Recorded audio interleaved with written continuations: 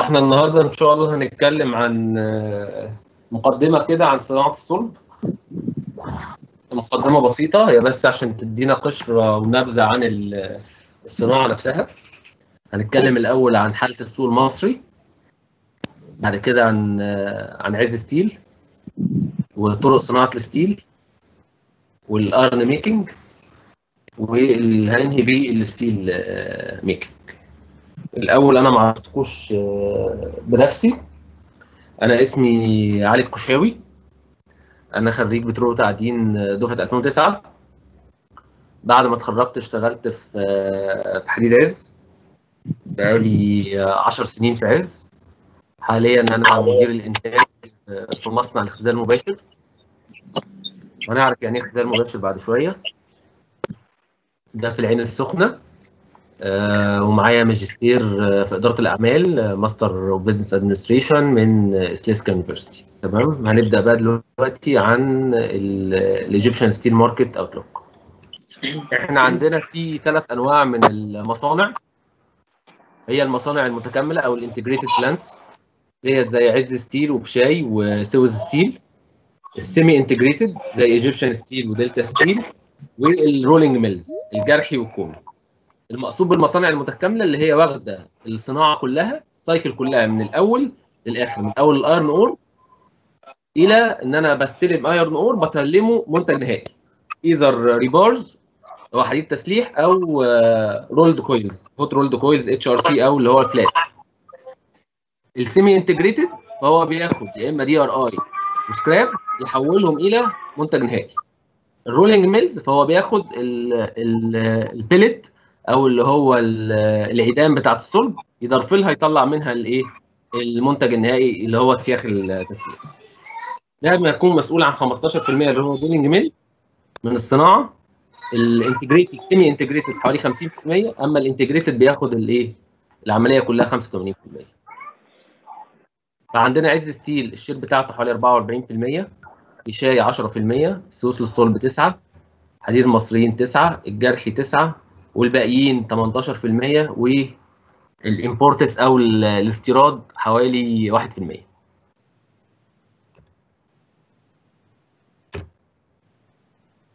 حاليا ال- ال- السوق المصري بيواجه نقص في في الطلب. ده نتيجة لأجزاء منها ال governmental policies إن هي مواضيع الهدم ومواضيع وقف البنا. ديت مقللة الطلب على على الصلب المحلي. ال high steel price السعر العالي بتاع ال steel.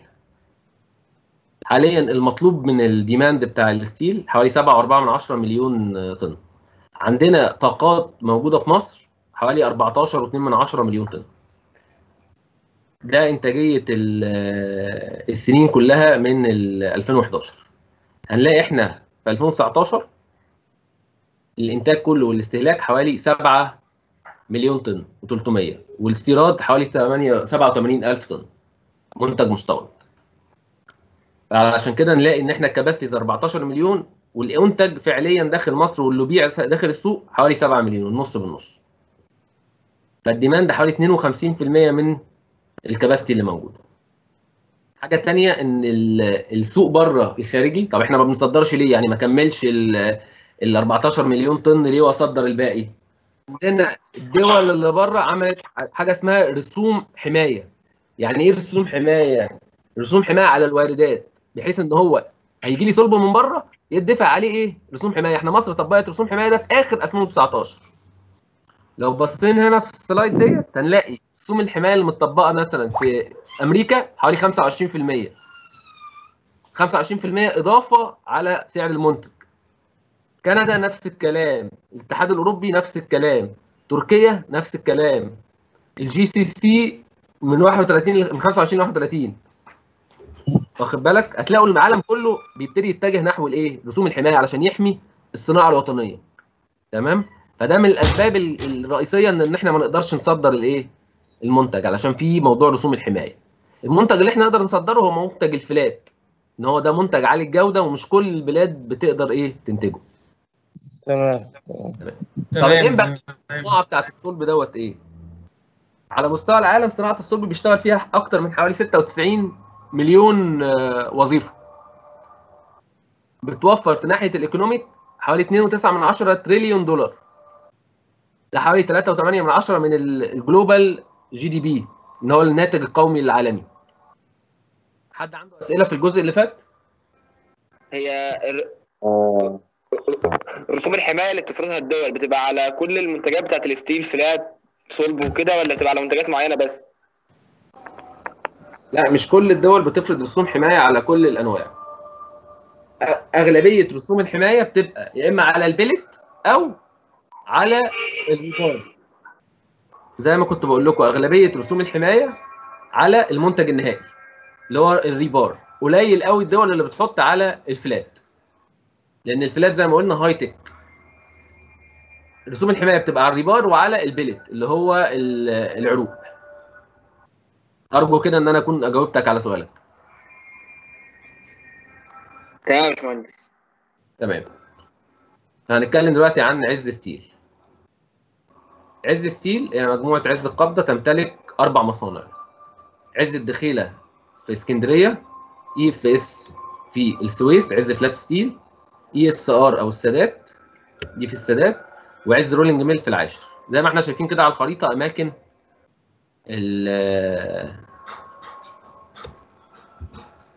الأماكن بتاعه المصانع. في اسكندرية السويس السادات والعاشر. اسكندرية دي نقدر نطلع لأمريكا والأوروبا ومن ناحية السويس نقدر نطلع لأفريقيا ولاسيا للتصدير.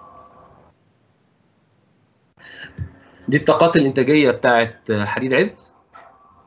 total 6.8 من 10 مليون طن. طبعا الدخيلة رقم واحد 2 مليون ده في long product long product ده يا جماعة المقصود بيه ال rebar أو ال wire mesh واحد واحد من عشرة ده مليون طن ده ال flat product اللي هو ال hot rolled coils نفس الكلام بالنسبة ل EFS rebars و flat السادات rebars بس ERM rebars بس. عز Steel هي الشركة رقم 38 طبقا ل World Steel Dynamics ال capital investment في عز Steel يتخطى ال 4 مليون بليون دولار. 4 مليار. زي ما قلنا يا عز Steel صناعتها تاخد الطريق ال integrated اللي هو الطريق المتكامل. يعني إحنا بنبدأ من ال iron ore ننتهي بيه المنتج يا إما rebars أو flat أو coils اللي هو ال wire mesh أو ال hot rolled coils في أربع مصانع direct reduction واحد في العين السخنة وثلاثه في الدخيلة. ال melt shops موجودة في السادات وموجود في الدخيلة وموجود في العين السخنة. مصنع اللي ما فيهوش melt shop هو مصنع العاشر من رمضان.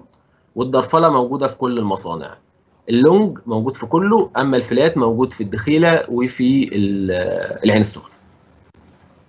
هنتكلم عن دلوقتي عن ال steelmaking routes في طريقين رئيسيين لصناعة الصلب. طريق ال route بتاع ال blast furnace وال basic oxygen converter والطريق الثاني بتاع ال direct reduction وال electric arc furnace هنلاقي الطريقين بيتجمعوا في مرحلة ال continuous casting أو الصب المستمر. يعني الاختلاف بس في المرحلة الأولانية اللي هي إنتاج ال crude steel. تمام؟ ده بياخد iron ore natural gas يدخلهم على حاجة اسمها direct reduction اختزال مباشر.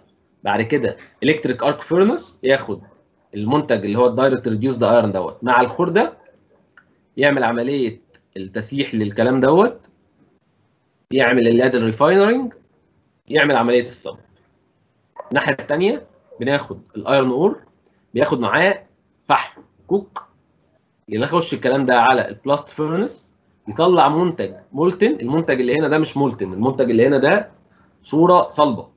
المنتج اللي هنا ده صورة سائلة. molten steel يتصب pig iron يروح على basic oxygen converter مع جزء من السكراب بسيط يروح لل ladle refining وبعد كده إيه؟ يتصب.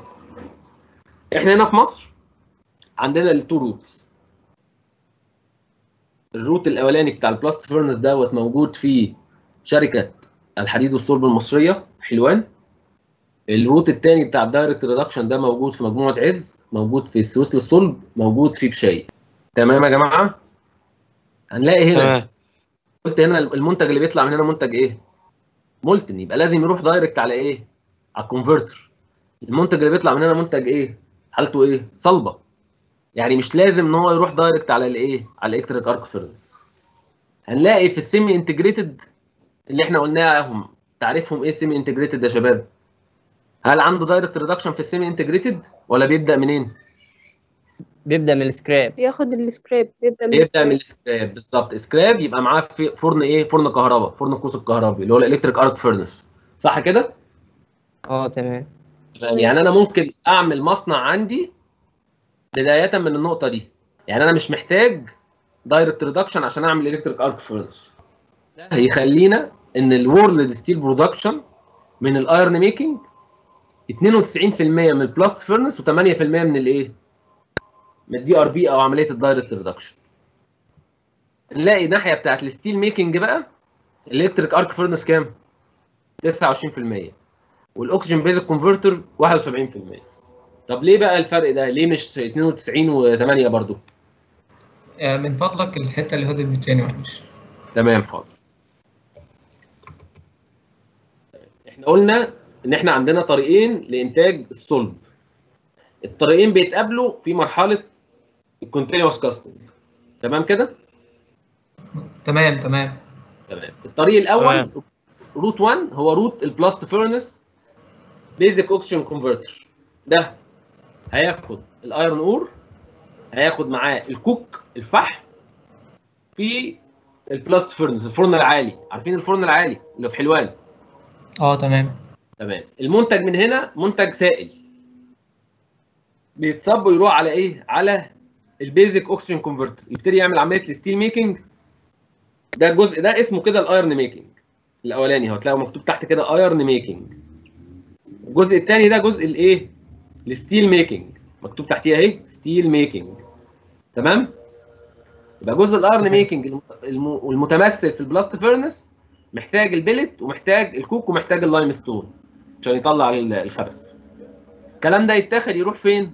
على ال converter. ال converter يبتدي عملية التنقية ويحول ال iron ل steel. ال pig iron اللي طالع من هنا ل steel. يحوله ل steel يبتدي عملية الإيه؟ الصب الناحية الثانية direct reduction بياخد ال iron ore بياخد معاه natural gas ينتج الايه؟ ال direct reduced iron يبقى دي عملية الايه؟ ال iron making المنتج اللي خرج من هنا يتخلط بجزء من الخردة يروح على الايه؟ ال electric arc furnace يعمل عملية ال steel إيه؟ ال steel making. تمام. بعد كده يعمل عملية ال continuous casting يتصب. في القوالب القوالب دي هتتدرفل تبقى منتج إيه؟ تبقى منتج نهائي. تمام إحنا كنا حضرتك حضرتك قلت إحنا ممكن نبدأ ال- من مثلا من المنطقة بتاعة ال electric arc furnace تمام. باننا نستخدم السكراب على طول صح؟ تمام. هنيجي دلوقتي ناخد الاثنين route ال route رقم واحد ده أنا عشان أبدأ فيه لازم أبدأ من أول ال blast furnace ال blast furnace محتاج iron ore ومحتاج فحم. ما ينفعش إن أنا أبدأ من ال basic oxygen converter تمام؟ ما ينفعش إن أنا أبدأ منين من ال basic oxygen converter لأن اللي بيخش له كمية سكراب صغيرة جدا ومعتمد الاعتماد الأساسي على الإيه؟ على ال pig iron اللي جاي له من ال blast furnace يبقى كل basic oxygen converter لازم معاه إيه؟ في الأصل. blast furnace تمام الله ينور عليك. يبقى إن أنا عشان أعمل مصنع هنا في ال- في ال route الأولاني ده لازم أعمل مصنع blast furnace وبعد كده أعمل مصنع basic oxygen converter بعد كده أعمل عملية الصب. تمام؟ هنيجي بقى على الناحية الثانية route رقم 2 route رقم 2 ده ممكن أبدأ ب electric arc furnace لوحده. أمثلة شركة السويس شركة حديد المصريين. هو ما عندوش direct reduction عنده electric arc furnace بس. مثال تاني مصنع السادات التابع لمجموعة عز الصناعية. ما عندوش direct reduction عنده electric arc furnace بس. هياخد سكراب مع إن إحنا بنديله من المصانع الأخرى المصانع الشقيقة بنديله direct reduced iron برضه. بس mainly بياخد سكراب مع DRI يعمل عملية ال melting ويشتغل. ممكن أصلا ياخد DRI برضك بس عن طريق استيراد. يعني مش لازم يبقى عندي مصنع DRI ممكن إن أنا استورد. زي ما بستورد الخردة استورد معاها DRI في شكل حاجة اسمها HBI hot briquetted iron هنتطرق ليه بعد شوية. يبقى أنا ممكن أبدأ منين؟ من ال electric arc furnace. يبقى مش كل electric arc furnace يستلزمه إن أنا عندي إيه؟ direct reduction صح كده؟ مظبوط. تمام. إنما كل basic oxygen converter لازم معاه إيه؟ blast furnace تمام. فنيجي بقى نشوف بقى النسب العالمية.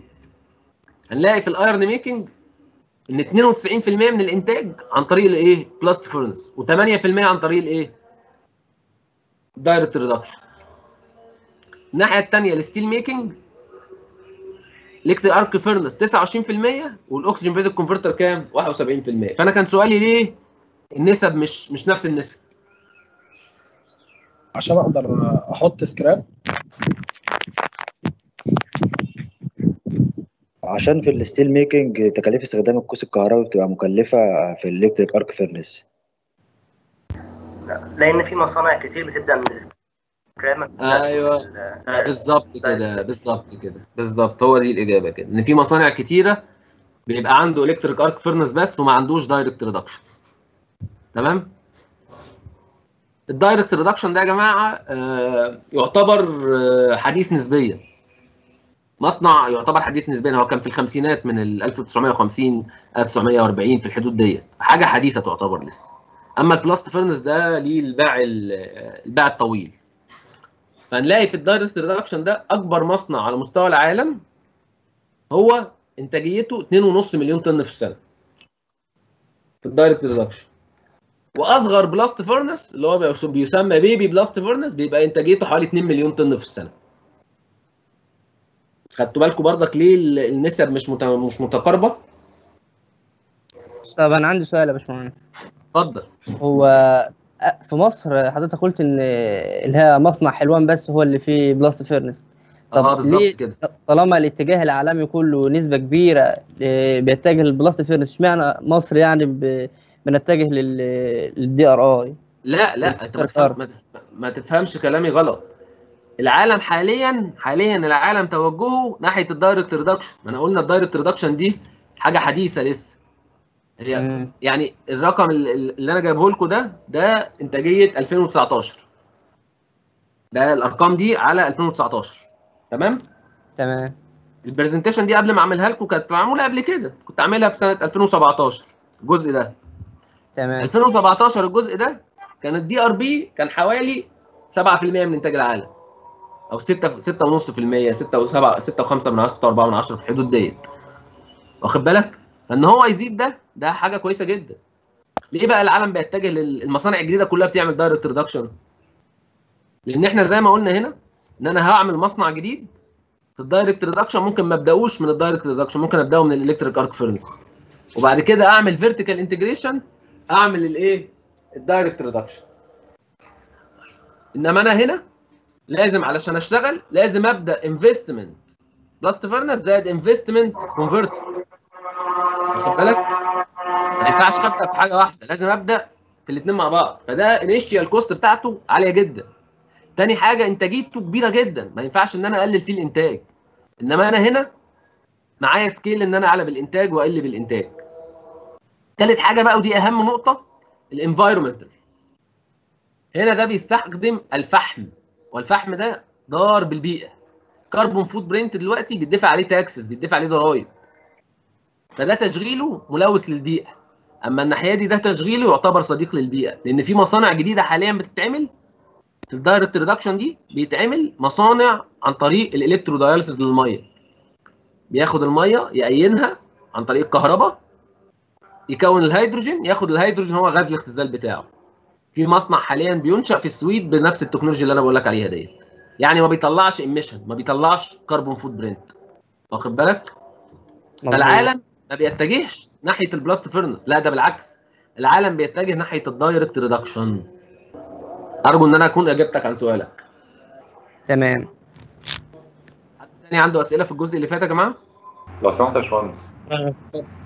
في مصانع بتستخدم 100% سكراب في ال electric arc furnace المصانع بتستخدم 100% سكراب هو ما فيش مصانع بتستخدم أو يعني إيه؟ حوالي ممكن نقول 95% من المصانع ما بتستخدمش 100% DRI هو استخدام 100% DRI ده مكلف جدا. هو لازم يستخدم سكراب. لازم في الشحنه يبقى فيها سكراب. معايا؟ هيروح بقى السكراب ده تمام يا مثلا باشمهندس إنما ما بيوصلش ل 100% سكراب. لا يوصل 100% سكراب عادي خالص مفيش مشكلة خالص. تشتغل 100% سكراب مفيش مشكلة. بقول لك ما ينفعش تشتغل 100% DR يعني أنت السكراب هتروح مثلا هنقول من 5% سكراب لحد 100% سكراب عادي ما فيهاش مشكلة. في الخلطة بتاعتك. على حسب ال grade اللي انت هتنتجه أو حسب التوافر بتاع الخرده أو على حسب ال- الوضع ال economics اللي انت فيه. وهل ده باشمهندس ما يأثرش على المنتج النهائي؟ لا خالص. ما أنا بقول لك على حسب المنتج اللي انت بتنتجه.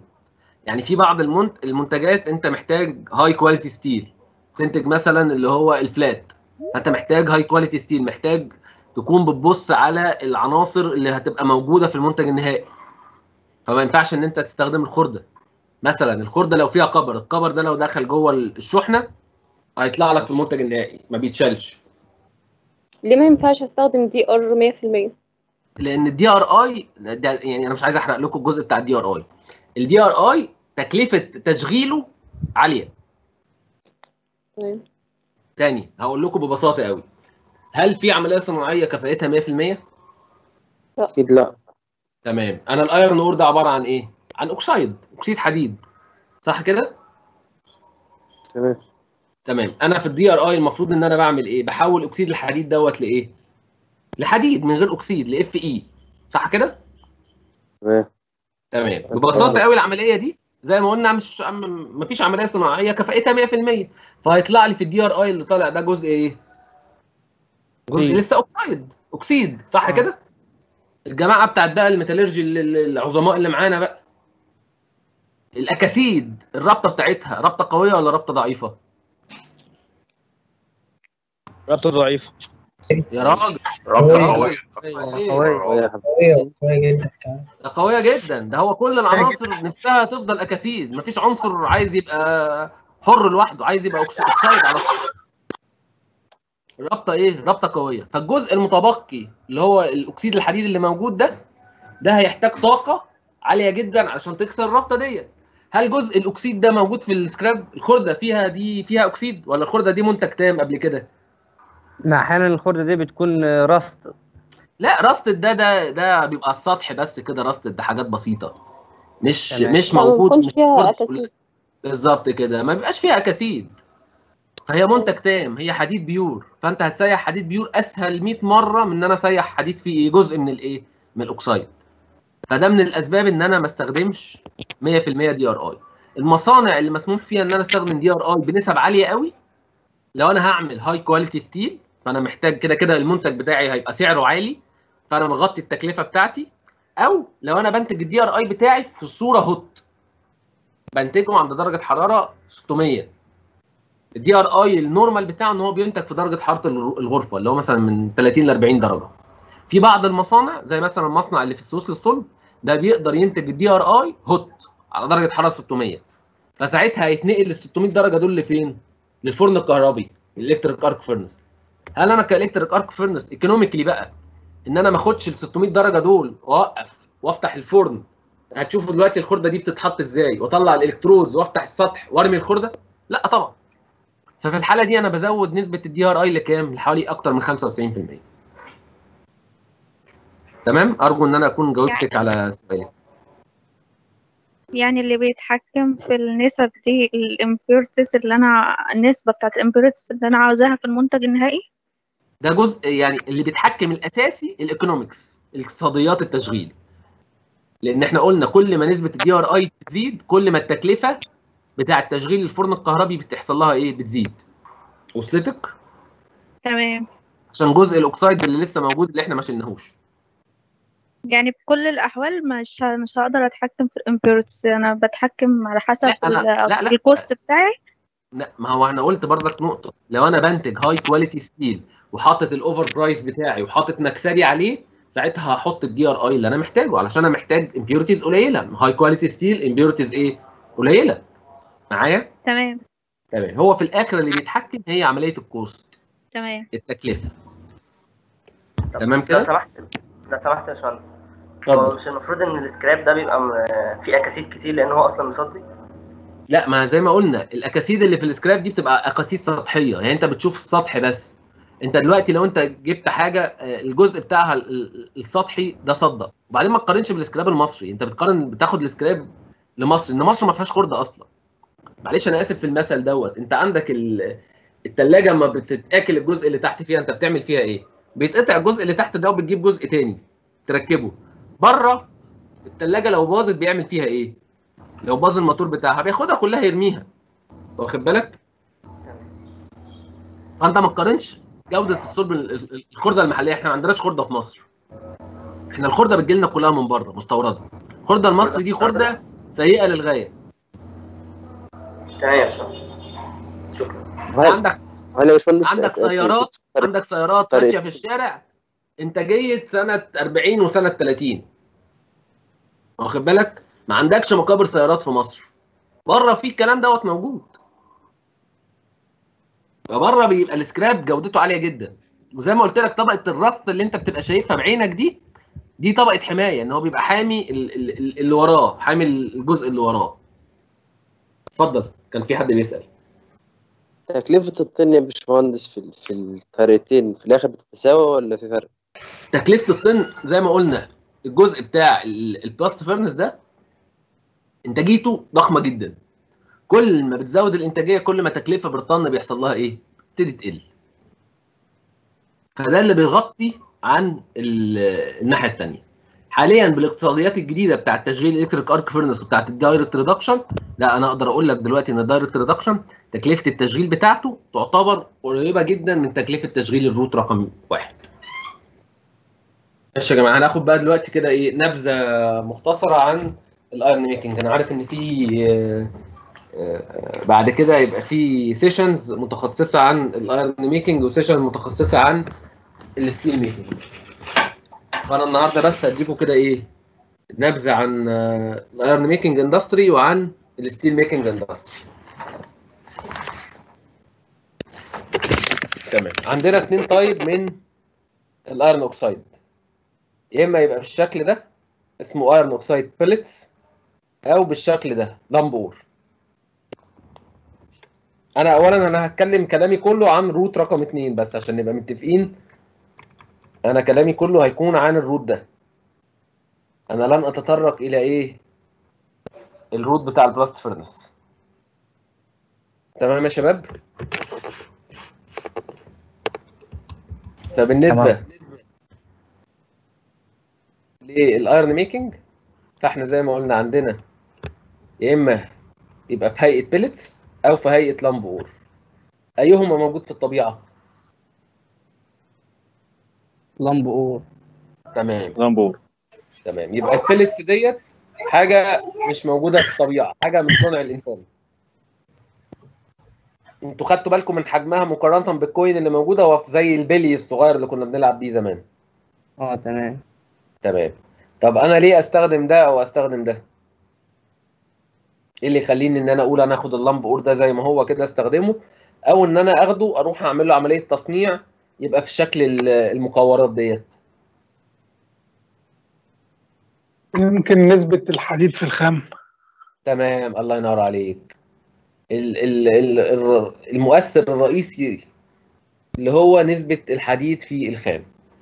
لو ال- الاستطلاعات الجيولوجية الأولية طلعت ان نسب الحديد أولا إحنا الخام اللي بنتكلم عليه هو خام الايه الهيماتايت اللي هو ال- العنصر الرمز الكيميائي بتاعه إيه؟ حد عارفه؟ Fe 2 O 3 طب أنا هديكوا كده إيه؟ من عندي خمس دقايق. تحسبوا لي أقصى كمية iron theoretical ممكن تكون موجودة في المركب Fe 2 O 3 ده 70% يا باشمهندس؟ الله ينور عليك 70% تمام. يبقى أنا ال 70% ده الرقم ال pure اللي عمره ما هيكون. موجود في الطبيعه تحسب إزاي بعد اذنك بتتحسب إزاي؟ بص يا سيدي. أنت ال Fe 2 O 3 ده مش ده المركب كله؟ آه. تمام. الوزن بتاعه كام؟ ال molecular weight بتاعه كام؟ 2 في 56 زائد 3 في 16 صح كده؟ صح كده. ماشي. الحديد بقى لوحده وزنه هيبقى كام؟ 2 في كام؟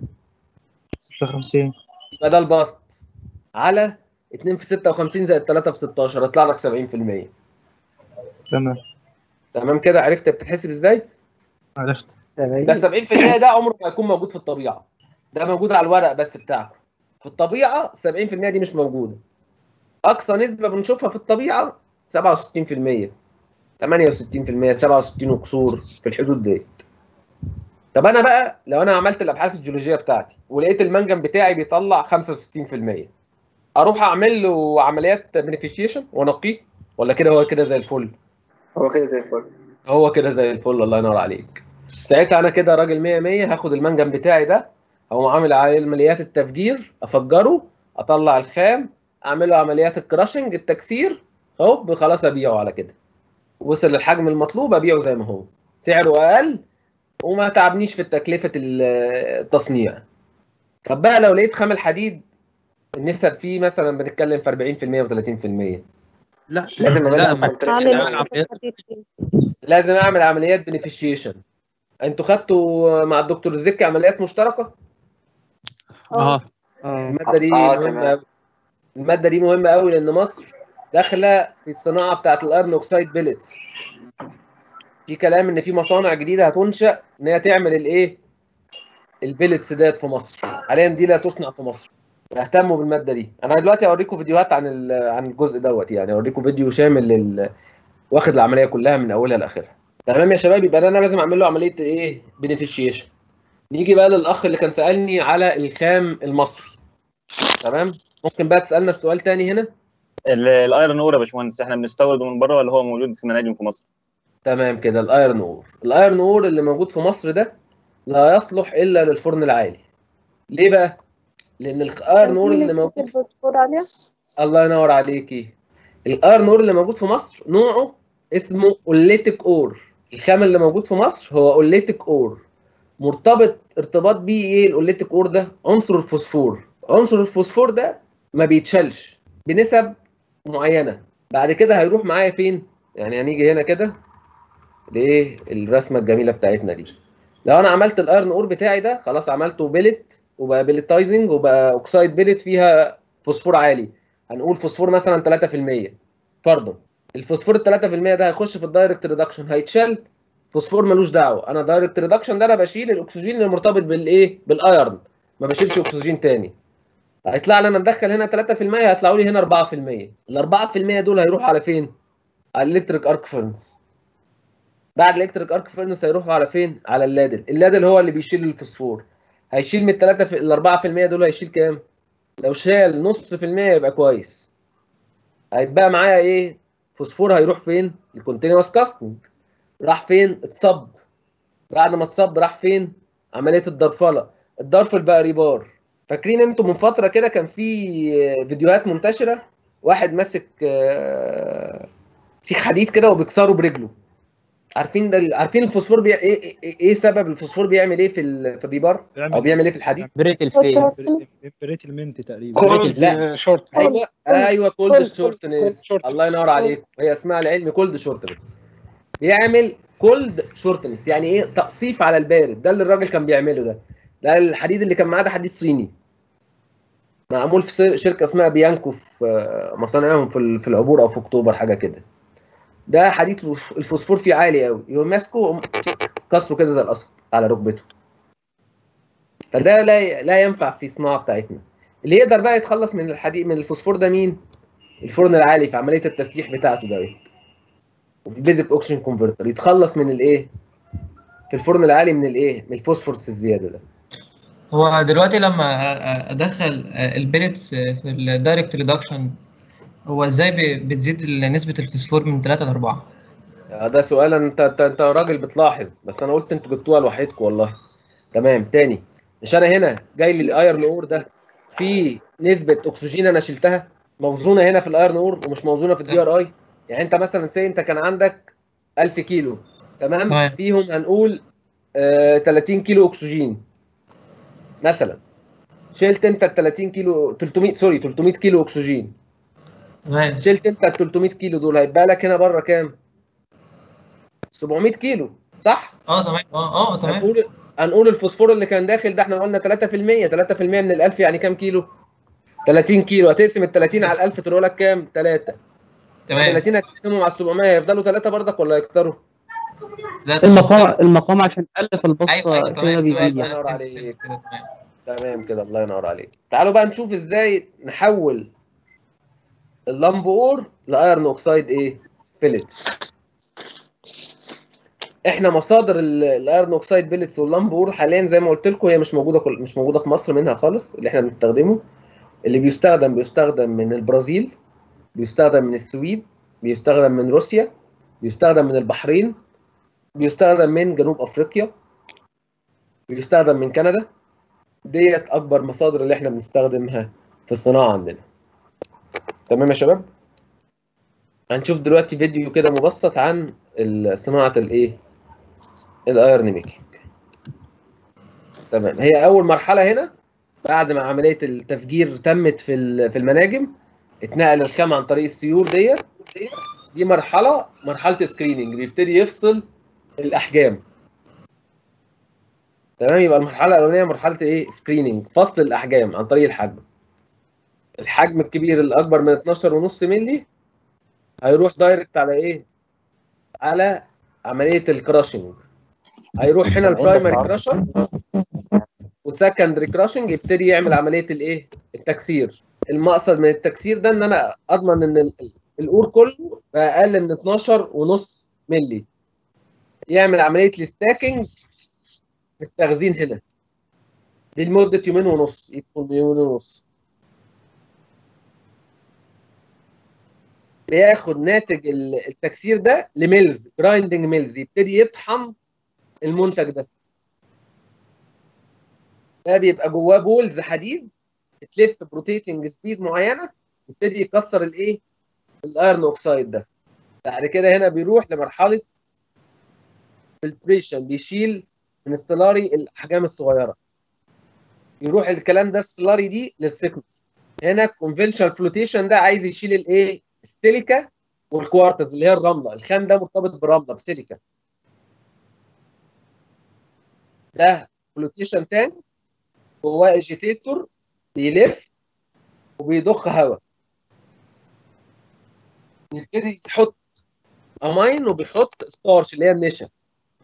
ال amine وال starch ده بي بي بي بيرتبطوا بالكوارتز اللي هو ال sand أو السيليكا يبتدي يطلع لإيه؟ للفوق. وال iron ore ينزل فين؟ ينزل لتحت. ده بقى إحنا شايفين عندهم أكتر من إيه؟ من flotation بعد عملية ال flotation ده المنتج بيبقى اسمه concentrate مركز. ياخد ال concentrate ده يعمل له عملية إيه؟ grinding تاني. يصغر الحجم بتاعه عشان يعمل له flotation تاني تنقيه تاني. لأن ده flotation column بقى ده ما فيهوش ال agitator القلاب هو air blast من تحت يبتدي يحط ال amine وال starch تاني والنشا concentrate بينزل تحت والسيليكا تبتدي تمسك في ال- في ال starch وال amine ويطلع. ده الشوائب ال tailing thickener ده الشوائب ال final concentrate بقى بيروح لل concentrate thickener ده بيبتدي إن هو ينزل لتحت ويبتدي ياخده ب- بطرمبات يضخه من المكان ده للمكان الثاني اللي إحنا هنشوفه دلوقتي.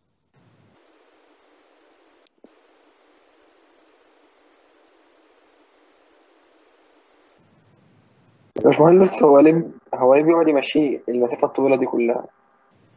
عشان ده المصنع الأولاني ده جنب المناجم. المصنع الثاني ده جنب المينا. معايا؟ فأنا انقل ال thickener أو ال concentrate ده بطرمبات ب pumping في line أسهل من إن أنا وأوفر من إن أنا أنقله بإيه؟ بعربيات. أنقله من المنجم بعربيات أو بقطر للمكان ده. لأن أنت الكلام ده كله بتبيعه بره بتصدره فلازم يبقى جنب المينا باشمهندس أنا استأذنكم بس الأسئلة على الفيديو خلوها في الآخر. ده إنتاجيتهم في السنة. قبل المشروع ده 24 مليون بعد المشروع ده تبقى 44 مليون. ضمن في السنة. هنا بقى دلوقتي جت concentrate ده لمصنع ال pelletizing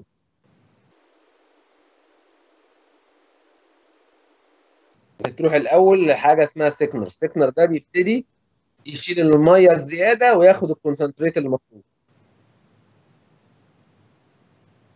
بعد كده بيروح لعملية filtration بحيث إن هو يشيل المية اللي كانت موجودة.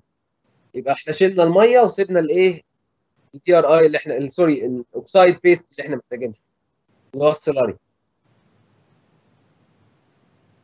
بعد ال filtration عملت شلت المية ده ياخد ال product ده يخزنه في ال silo يعملوا الأول pressing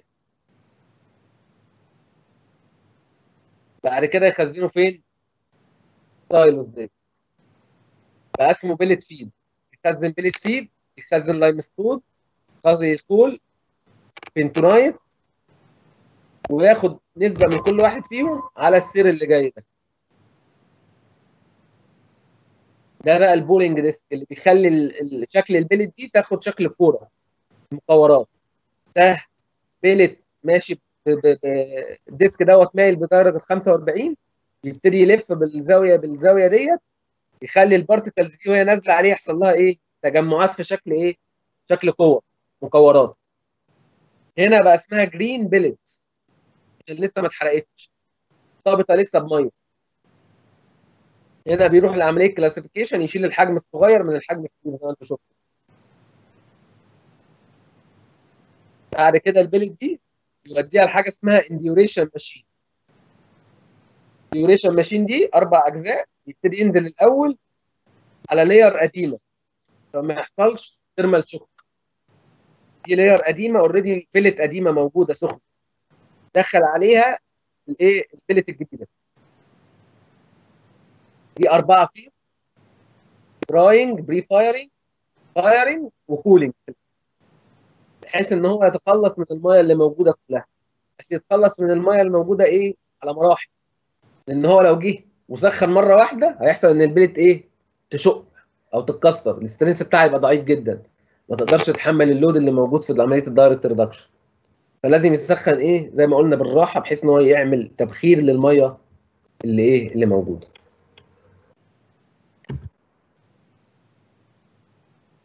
electrostatic precipitator دوت عشان ال process gas treatment ما يطلعش أبخرة أو آه، اتربه على الجو.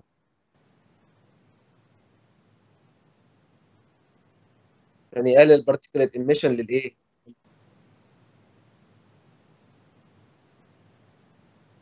خارج ال خارج ال induration machine هيبتدي يتخزن عملية screening الأول يشيل الحجم الصغير ياخد الحجم المطلوب. يعمل له screening ويتخزن بعد كده على طريق السيول.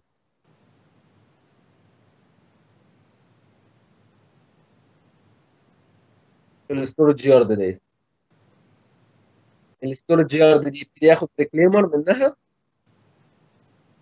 يملى إيه بقى يا شباب؟ يملى ال shipment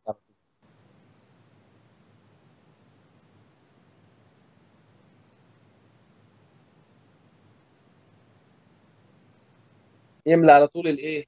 shipment اللي هتسافر بره تودي الخام دوت لأيا كانت الدولة اللي رايحه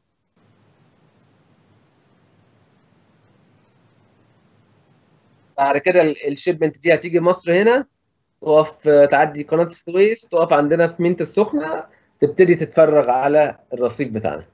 أو مينة الدخيلة تبتدي تتفرغ على الرصيف بتاعنا في اسكندرية. تمام كده يا شباب؟ حد عنده أي أسئلة في الجزء بتاع ال iron making ده؟ بعد إذنك هندسة هو في آه، خريج فلزات بيشتغلوا في ال extractive أو في الجزء ده ولا كله بيشتغل steel making بس؟ أنا أنا زي ما قلت إحنا حاليا في مصر الجزء ده مش موجود عندنا. الجزء ده أنا زي ما شفت الجزء مقسوم الايه يعني رجعنا للصورة دي. الصورة دي حلوة. الجيولوجي ده وال mining دول وال beneficiation الأولي دول مش موجودين إيه؟ ما يعتبروش موجودين في مصر. موجودين في مصر الخامات اللي هي بتاعت الايه الفرن العالي. معايا؟ تمام. مصر حاليا في كلام إن هي هتعمل pelletizing plant فده هيبقى موجود عندنا. اللي هو اللي بيعمل الايه ال pellets ال iron oxide pellets هتجيب أنت ال benefi ال- ال- ال- ال pellet feed ده من بره زي البحرين. البحرين بتستورد. إحنا بنستورد خام من البحرين. البحرين بتعمل إيه؟ عندها مناجم في البرازيل مثلا متعاقدة مع شركات في البرازيل. بتاخد منهم ال pellet feed اللي هو ال concentrate بعد ما بعد ما شلت منه السيليكا وعملت له beneficiation ورفعت نسبة ال iron فيه. بس لسه مرتبط بإيه؟ بمية. بياخد الكلام ده يعمل له عملية pelletizing بس عنده ده حاليا في كلام في مصر إن هو هي إيه؟ هيتم إنشاء مصانع من الموضوع دوت عظيم. تمام؟ فده بالنسبة لإيه؟ لل- للسوق المصري. السوق المصري فأنت هيبقى عندك الثلاث أجزاء. إن شاء الله يعني هيبقى عندك الجزء بتاع ال beneficiation دوت بتاع ال pelletizing عندنا ال direct reduction عندنا ال steel making وعندنا عملية الايه الدرفله أو ال rolling. هنيجي بقى نتكلم عن ال direct reduction process يعني إيه direct reduction اختزال مباشر. تمام. اختزال مباشر. اختزال مباشر. يعني بعرض ال iron oxide pellets لغازات الاختزال مباشرة اللي هتعمل عمليه ال reduction بدرجات الحرارة المطلوبة بال- بالتركيز المطلوب بالوضع المطلوب. يبقى أنا عندي خام الحديد أهو Fe 2 3 هبتدي أعرضه. لل CO وال H 2 هيديني ال Fe مع ال CO 2 والإيه؟ وال H 2 O ده كده الاختزال المباشر. بيتم في shaft furnace زي ما إحنا شايفين. إيه الاختزال الغير مباشر؟ اللي هو الفرن العالي بياخد الفحم يدخله مع الاكسيد الفحم ده يتحول الأول عن طريق ال tuyeres بتاعت الهواء ديت يتحول لسي أو السي أو يعمل عملية الايه الاختزال تمام؟ تمام. إنما. الاختزال المباشر ده هو عبارة عن heterogeneous reactor بيبتدي يخش ال iron oxide pellets من فوق تطلع من تحت الايه ال DRI يا إما cold يا إما hot يا إما HBI أو briquetted hot briquetted iron ده لو أنت هتصدره يعني. عملية الاختزال هتتم على المراحل اللي هي ال Fe 2 3 تحول ل Fe 3 O 4 بعد كده ال FeO بعد كده ال Fe في الآخر خالص المنتج النهائي عندي بيبقى شكله بالمنظر ده. Fe ال core بيبقى فيه إيه؟ FeO اللي هو الجزء اللي إحنا قلنا لسه مرتبط بالإيه؟ بالاكسجين اللي كنا قلناه زمان. في طريقتين مشهورين جدا أشهر طريقتين على مستوى العالم إن أنا أعمل بيهم عملية الإيه؟ direct reduction دي. Midrex process و HYL process Midrex process دي تكنولوجي أمريكي بتتصنع بشركات يابانية. حاليا شركة اسمها Primetals HYL دي هي تكنولوجي مكسيكي بتتصنع بشركات إيطالية شركة Danieli. حاليا اسمهم Energiron يبقى ده Primetals ده إيه؟ Energiron في مصر في أربع مصانع Midrex ومصنعين HYL أو Energiron أربع مصانع Midrex ثلاثة منهم موجودين في الدخيلة كل مصنع إنتاجيته مليون طن يبقى 3 مليون و... وفي مصنع فيهم إنتاجيته 1 مليون و2 من عشرة أعتقد أو مليون واحد من عشرة فحوالي 3 مليون وواحد من عشرة في الدخيلة. ومصنع في بشاي Steel مليون و760 ألف طن. أما مصنعين ال اللي موجودين في مصر دول مصنعين انشئوا حديثا مصنع موجود في مجموعة عز في السخنة إنتاجيته مليون و900 ألف طن. ومصنع موجود في السويس للصلب ده بينتج hot DRI ويعتبر حاجة اسمها zero reformer ده أحدث تكنولوجي. ده إنتاجيته مليون و950 ألف طن في السنة. لو بصينا بقى على مستوى العالم هنلاقي إن Midrex واخدة حوالي 63% من ال direct reduction عموما Energiron 15.5% ال process اللي ليها shaft furnace Midrex 80% و Energiron كام؟ 20% ده على مستوى الإيه؟ على مستوى العالم. أحدث مصانع عم... ات- اتعملت آه، في الجزائر اتعمل مصنعين آه، Midrex طاقة الواحد فيهم 2.5 مليون طن. حاليا في مصانع تحت الإنشاء في بوليفيا وفي آه، السويد مصنع HYL وفي بوليفيا مصنع HYL وفي أمريكا مصنع HYL برضه. إحنا في مصر مفيش مصانع تحت الإنشاء. ده شكل مبسط ل Midrex process زي ما قلنا إحنا بناخد ال iron ore يطلع من تحت إيه؟ DRI يتشحن من فوق يطلع من تحت DRI. طب بالنسبة للغاز الغاز بيجي منين؟ إحنا قلنا غازات الاختزال إيه؟ خليط من السي إيه أو يا جماعة سي أو والاتش 2 السي أو والاتش 2 دول موجودين في الطبيعة؟ لا باخدها من غاز الميثان ال CH4 الله ينور عليك. يبقى أنا الغازات دي غازات مخلقة. غازات مش موجودة في الطبيعة. بجيبها منين؟ عن طريق ال natural gas. تمام؟ أنا في Midrex هنا. بعمل عملية الاختزال. قلنا ان نواتج الاختزال عبارة عن CO2 و H2O باجي في وحدة اسمها scrubber بتخلص من ال H2O عن طريق عملية quenching ابرد تبريد مفاجئ. الغاز ده بخلطه بالغاز الطبيعي تاني أخش أعمل عملية heat recuperator أستعيد الحرارة تاني. آخد الغازات ديت أعديها في reformer catalyst tubes جواها tubes جواها catalyst أبتدي أعمل عملية تحوير للغاز من حالة السي أو 2 زائد سي اتش 4 هيديني إيه؟ سي أو و اتش 2 آخد الغاز اللي خرج من ال reform من ال reformer ده أضيف عليه natural gas وأكسجين عشان أعلي درجة الحرارة بتاعته يوصل لحوالي 980 درجة بعد كده آخده واعمل بيه عملية الايه الاختزال تاني وهكذا. بعد كده المنتج اللي بيعدي ده هو المنتج ماشي معانا في الرحلة بتاعته من فوق لتحت بيعدي بعد كده في منطقة التبريد. غازات التبريد عبارة عن mainly عبارة عن غاز طبيعي. الغاز الطبيعي يخش هنا في منطقة التبريد يبتدي يبرد الايه ال DRI اللي خارج ده. أسحبه أشيل منه الأتربة وأعمل له عملية cleaning وأشيل منه المية وأخده إيه؟ أبرده وأخده تاني وأستخدمه تاني. يطلع معايا cold DRI ده بالنسبة لتكنولوجيا إيه؟ Midrex. أعتقد كده بشكل مبسط وصلتكم الفكرة العامة. أنتوا كده كده المفروض الحاجات دي هتاخدوها في ال details بتاع ال iron direct reduction وصلتكم الفكرة العامة بتاعت Midrex يا شباب؟ تمام يا باشمهندس. تمام. تمام. ال scrubber ده بيشيل المية وبيشيل ال dust. تمام. هنيجي على Energiron process هنلاقي نفس القصة برضو ال iron ore بيتشحن من فوق وبيطلع من إيه؟ من تحت DRI الغازات اللي خارجة الأول بتعدي على عملية حاجة اسمها heat recuperator أبتدي أستعيد الحرارة بتاعتها. بعد ما استعدت الحرارة أشيل ال H2O المية الزيادة بال quenching وأشيل ال dust. شلت الكلام ده. أعدي الغاز بتاعي على compressor يبقى أنا هنا اتخلصت من الايه من ال H2O بعد ما اتخلصت من ال H2O عملت ال compressor واتخلصت من الايه من ال CO2 في Midrex أنا ما اتخلصتش من ال CO2 معايا؟ تمام. تمام. هنا اتخلصت من ال CO2 يبقى أنا باقي لي بس الغازات اللي ما عملتش اختزال اللي هي ال H2 وال CO أجي هنا الوحده لوحدها كده stand alone اسمها ال reformer. باخد الغاز الطبيعي مع steam مكونه اخلط الاثنين دول ببعض في ال steam reformer يكون لي برضك catalyst tube يكون لي ال H2O زائد ال CH4 هيديني السي أو والاتش 2 اخد الغازات ديت اللي هي ال reformed gas ده احقنه مع الغاز اللي أنا شلت منه الاتش 2 والسي أو 2 على ال recuperator اسخنه. وحدة ثانية اسمها process gas heater أسخنه لحد 930 درجة مثلا. بعد كده ادخل عليهم أكسجين يوصل الخليط دوت ل 980000 ويخش جوه ال reactor يعمل نفس الإيه؟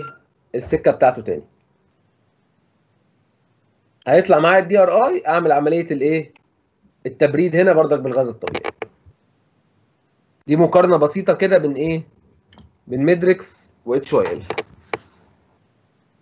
الاثنين بيتشابهوا إن هم بياخدوا iron oxide يشيل منه الأكسجين عشان يديك إيه؟ DRI عندنا هنا هنقول الضغط بتاع ال Energiron حوالي 5 bar gauge Midrex حوالي 3 من 10 ال reformer زي ما قلنا حجمه كبير في Midrex وبيستخدم ال CO2 في Energiron هو عبارة عن steam reformer حجمه صغير ووحدة لوحدها.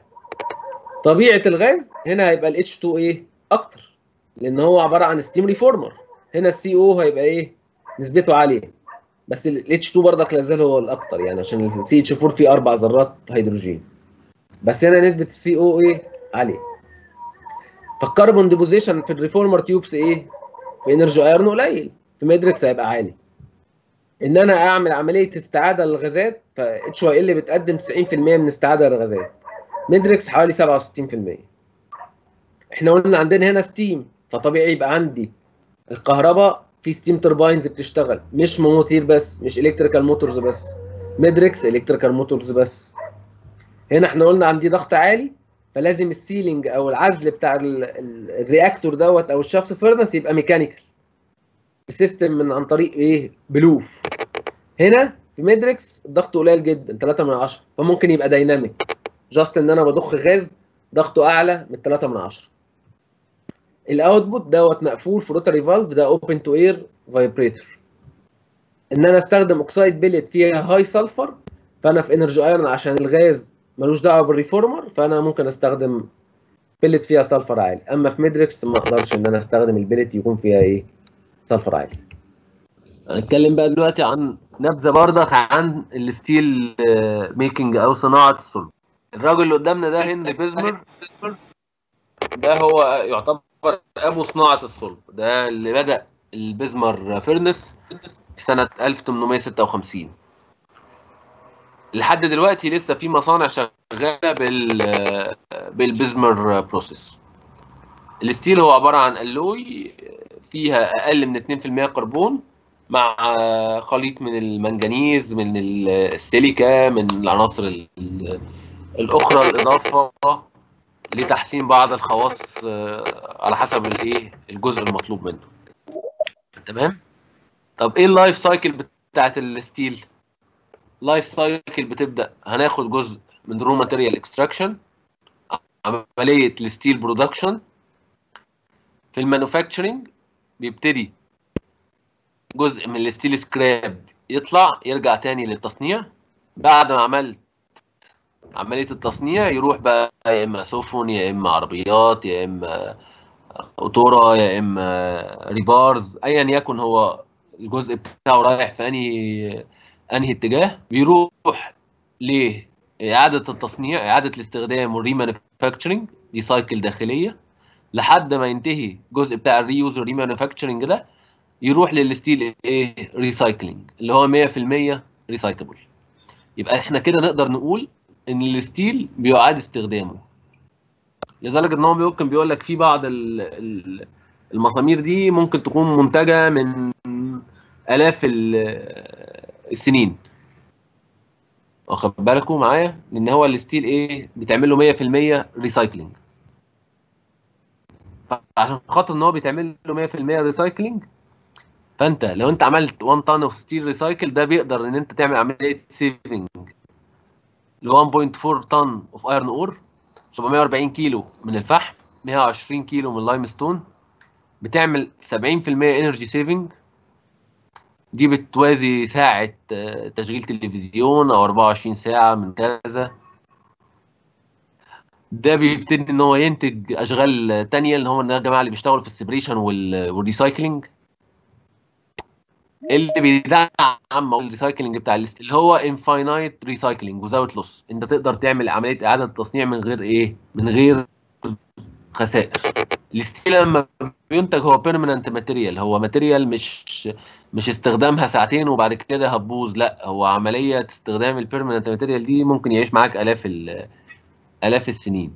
بيقول لك البيت اللي انت بنيته من الصلب ممكن يعيش أحفاد أحفاد أحفاد أحفادك يعيشوا فيه. بيتم ال easy magnetic separation وال recovery عن طريق الايه ال magnetic هنشوف بعد شوية. دي كده تعتبر ال life cycle بتاعت الايه المنتج بتاعنا. اللي جاي ده هيبقى فيديو بسيط عن كيفية صناعة الايه ال steel making أو صناعة الصلب هنا زي ما إحنا شايفين ال magnetic دي magnetic crane دي crane الجزء دوت عبارة عن مغناطيس الراجل اللي شغال فوق دوت هو اللي بيتحكم فيها يشغل إمتى المغناطيس وامتى يفصله بياخد الخرده بعد ما اتعمل لها عملية segregation وتشال منها ال tramp element اتشال منها ال copper اتشال منها ال lead اتشال منها الحاجات دي يبتدي يفصلها بمغناطيس اهوت ياخد من هنا يبتدي ينقل في الايه في ال scrap bucket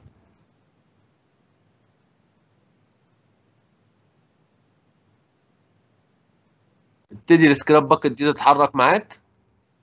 لحد المكان بتاع الايه ال electric arc furnace تبتدي تتنقل ب crane تانية اهي لل electric arc furnace شايفين هنا ال electric arc furnace عندنا واحد اتنين تلاتة الكترود جنب التلاتة الكترود دول في فتحات تانية ممكن تبقى موجودة في الفرن. الفتحة التانية ديت اللي هي الفتحة الرابعة إن أنت تقدر تضيف منها الإيه؟ ال DRI على سير. يعني ال DRI بيبقى الشحن بتاعه عن طريق سير يبتدي يجي في الفتحة الرابعة اللي جنب الثلاثة electrodes بحيث إن هو يعمل عملية إيه؟ continuous feeding ما يحتاجش إن إحنا نعمل العملية اللي بتتم دلوقتي إن أنا أرفع ال electrodes وأفتح افتح الايه السقف. ويا سلام بقى لو ال DRI دوت هو منتج hot DRI عن درجة حرارة 600 فأنت كده وفرت طاقة زيادة. ده إحنا شايفين هنا ال electrodes بتترفع. بعد ما اترفعت يبتدي إن أنا أقدر أفتح الايه ال roof السقف بتاع الفرن.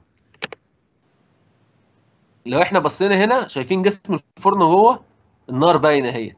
في بانلز جوه وفي حراريات جوه. بحيث إن جسم الصلب الفرن ده من الصلب. هيستحمل إزاي الكلام ده؟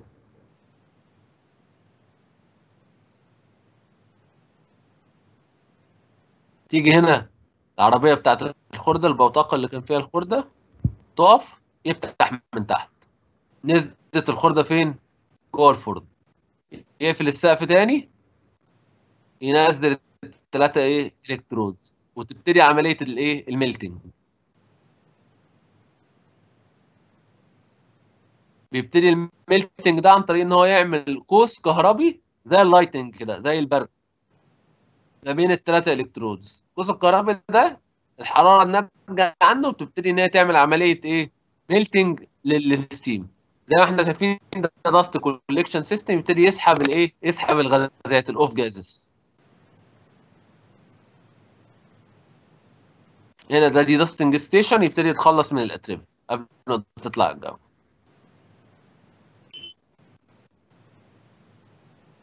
دي ال control room اللي بتبتدي تتحكم في الايه؟ في الفرن اللي إحنا شايفينه قدامنا ده. هنا بيبتدي يشحن كربون وأكسجين عشان يظبط الإيه؟ الصبه بتاعته. ده ال steel bath زي ما إحنا شايفين. اللي قدامنا ده الخبث. بيبتدي ال slag يبتدي إيه؟ يتخلص منه.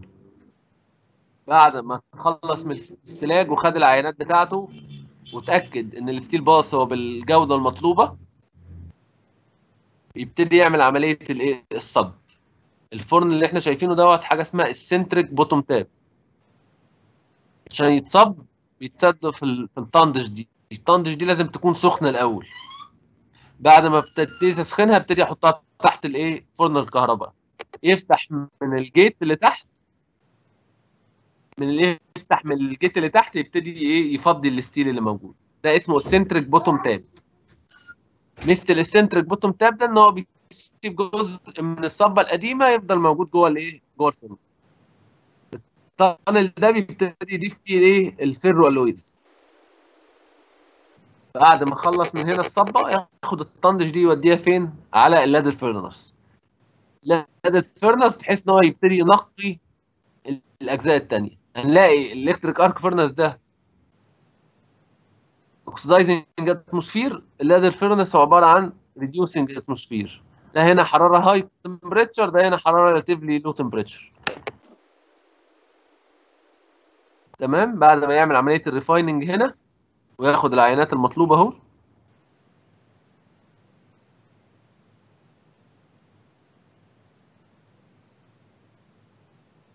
يبتدي ياخد الطندش اللي موجودة ديت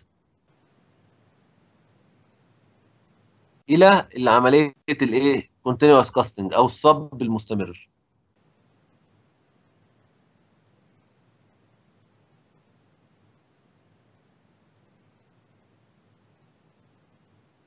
اللاد الكفر بتاعها بي... بيترفع اهيت واللاد اللي هتتحرك معانا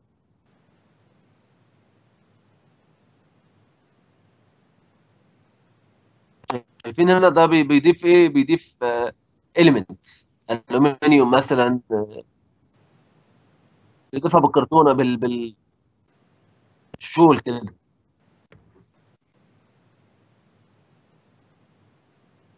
هنا دي عملية ال continuous cast يغير ال ladle. liquid steel أهو بيبتدي إيه يتصب. دول billets اللي هو الشكل الايه ال- العروق. دول أربعة strand أهوت. إحنا المصانع عندنا ستة strand. دول مصانع دول هنا أربعة strand بيبتدي إيه؟ يصب. شايفين هو بتتحرك ال oscillator ده عشان يزود ال frequency ويزود ال adjustable بتاعة الايه عملية الصب. يصب في القالب القالب هنا شكله عمود. في الأول في حاجة اسمها dummy bar هنشوفه دلوقتي بعد شوية.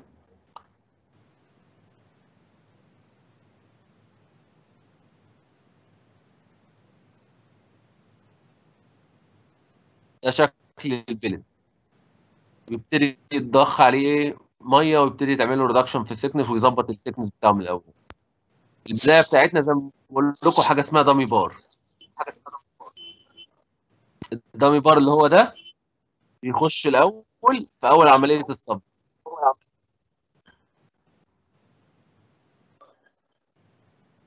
أهو. ده اللي بياخد ال connection ما بين ال permanent وما بين الايه ال billet اللي إحنا بنصبه. بعد ما بيطلع اهو ال dummy bar يبتدي يقطع. قطع خلاص بقى معانا الايه؟ ال dummy bar ده خلاص شغال معانا. الجزء ده طبعا بعد كده بيتطهر بيتقطع. هنا ده المكنة بتاعت الصب دي شغالة إيه؟ continuous زي ما أنتم شايفين هو بيقطع وهو شغال. بيقطع ال billet length وإحنا شغالين وهو شغال. يبتدي يقطع مصانع عندنا بتقطع 8 12 متر. في مصانع تانية ممكن بيقطع 8 متر. على حسب طول ال reheating furnace في مرحلة الدرفلة. بعد ما بينتجوا بيوديه على سرير التبريد يبتدي إيه؟ يتبرد.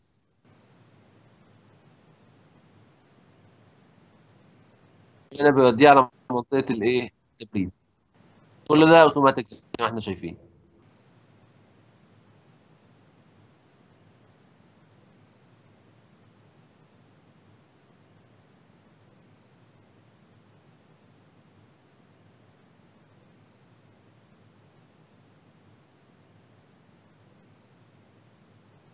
بعد ما بيبرد بيبتدي يتعمل له إيه؟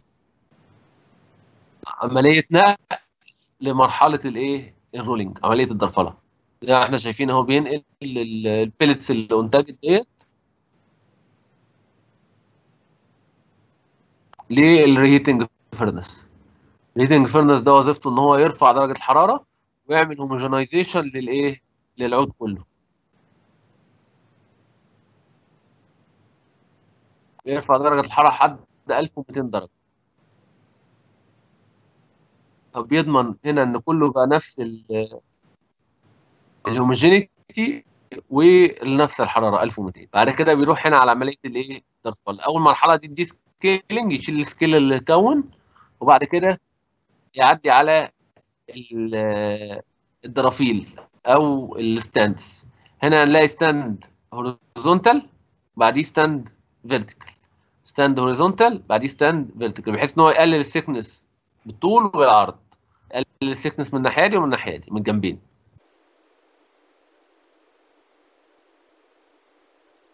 زي إحنا شايفين أهو ال thickness بتاعه ابتدى إيه؟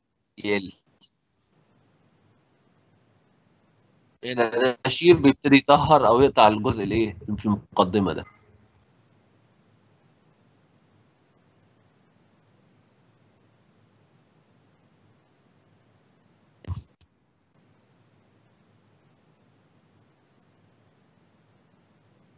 تمام.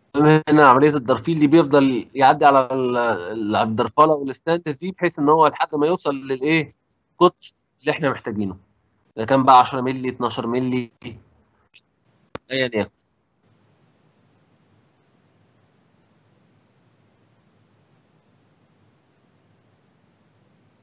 هنا دي عملية slit rolling هو عنده slitting device يبتدي يشتغل خط واحد يبقى إيه؟ اتنين rebar مرة واحدة.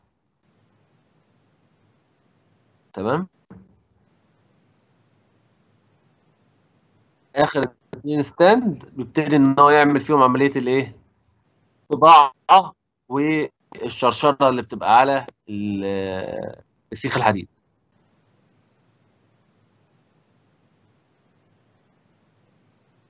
بعد كده الكلام ده بيروح على سير التبريد. cooling يبتدي يتبرد لحد ما يوصل للإيه؟ درجة الحرارة المطلوبة. دي braking أو عملية فرملة بحيث إن هو يبتدي يبطأ ويودي ال- rebars ديت لمناطق الإيه؟ التبريد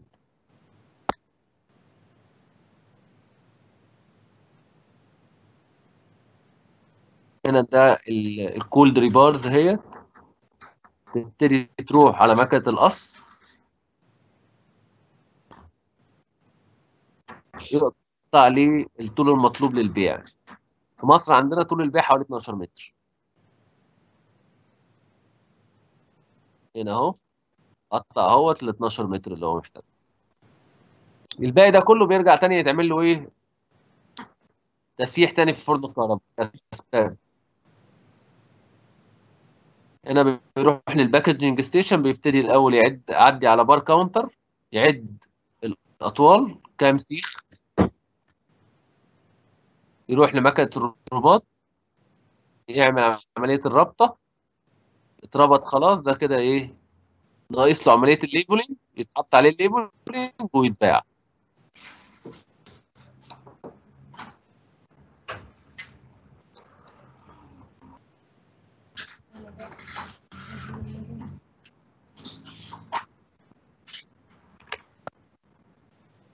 كده إحنا نقدر نكون وصلنا خدنا الايه ال rebar بتاعنا أو حديد التسليح بتاعنا.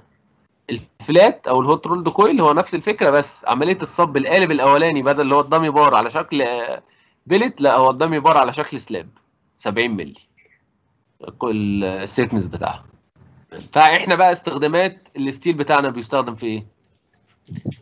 ديت بتوضح لينا استخدامات ال steel. هنلاقي 51% بيستخدم في ال building حوالي 15% بيروح لل mechanical equipment 12% بيتعمل منه صناعة السيارات 3% ال white goods 5% other transport زي ال shipment أو ال trains 11% ال metal product و3% الإيه؟ electrical equipment ده steel use في سنة 2018 كان الإنتاج العالمي 1712 مليون طن يعني حوالي مليار طن و700 700 مليون. بالنسبة لل ال by-product بقى بيستخدم في إيه؟ ال by-product عندنا أنت دخلت مثلا هنقول طن steel طن iron هيطلع لك 64% steel. و33% by-product و3% إيه؟ waste. مش هيستخدموا ال steel. خلاص إحنا عرفنا بيستخدم في إيه؟ طب بالنسبة ل 33% ده رقم كبير. by-product ده بيستخدم فين عندنا أكتر by-product هو ال slag. ده بيستخدم في صناعة ال cement بيستخدم في صناعة ال fertilizer بيستخدم في أسفلت بيتعمل منه الأسفلت في شركات في مصر حاليا بتاخد ال slag تعمل منه أسفلت موجودة. الحاجة الثانية ال dust فال dust بتاع ال electric arc furnace ده بيتاخد منه صناعة الزنك وده بردك موجود موجود في المصانع. في مصر هنا بتاخد ال iron ال dust بتاع ال electric arc furnace ياخده في صناعة الزنك. ال process gas ممكن ينتج منه كهرباء. ال other by-product زي مثلا ال fertilizer plastic paint دي ممكن إيه تطلع معاك. حد عنده أسئلة أو حاجة؟ بعد اذنك يا باشمهندس. اتفضل. بالنسبة لل automotive ال steel اللي بنستخدمه فيها special alloys ولا ولا ال steel ال traditional بتاعنا عادي؟ العربيات؟ آه. لا ال automotive هي على جزئين. عندك الجزء بتاع ال body اللي بره ده فده من ال steel بتاعنا العادي خالص اللي هو ال HRC اللي بينتج في مصانعنا. ده عادي. أما اللي عندك بقى ال special parts فديت بتحتاج special steel عندك مثلا زي ال high strength low alloy ده ما بينتجش عندنا. واخد بالك؟ تمام. ال duplex steel مثلا في بعض الأجزاء من المحرك. ده برضك ما بينتجش عندك. فدوت مش في المصانع ال traditional ده بقى المصانع اللي إيه ال special steel. ممكن تكون شركة أركو ستيل بتنتج بعض الأنواع أنا مش مش مش على دراية بيها يعني. بس هو سوق تمام يا شباب؟ ال automotive ام ما فيش حد بيصنع يعني. تقريبا كله بيجمع صح كده؟ لا أنت سوق ال automotive ده أنت بتجمع زي ما أنت بتقول. أنت ال body بتاع العربية ده معمول من إيه؟ معمول من الصلب معمول من ال steel. أنا ده. الاستهلاك ال steel ده زي ما بقول لك ده عالميا مش في مصر. ال chart ده يا جماعة عالميا. أنا بكلمك في مليار طن مش في مصر. طب بالنسبة للسوق المصري طيب يا باشمهندس التقسيمه بتختلف السوق كتير المصري أنت هيبقى عندك حوالي 80% منه اللي هو ال rebars. 20% منه اللي هو ال hot rolled coils أو ال flat ده مين اللي هيخش معانا في مصر؟ في الجزء بتاع ال white goods الثلاجات والسخانات والحاجات دي بتتصنع في مصر. عندك الجزء بتاع الاسطوانات بتاع زي مثلا اسطوانات الغاز اسطوانات الكلور دي بتتصنع في مصر. الحاجة الثالثه اللي بتتصنع في مصر من ال flat ال HRC sorry اللي هو ال- البراميل براميل الصاج دي بتتصنع في مصر برضه. ده بالنسبة للسوق المحلي يعني. ارجو إن أنتم تكونوا استمتعتوا بال presentation وإن أنتم تكونوا إيه استفدتوا معانا.